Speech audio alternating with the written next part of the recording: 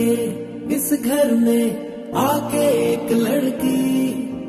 चुप के चुप के ताके एक लड़की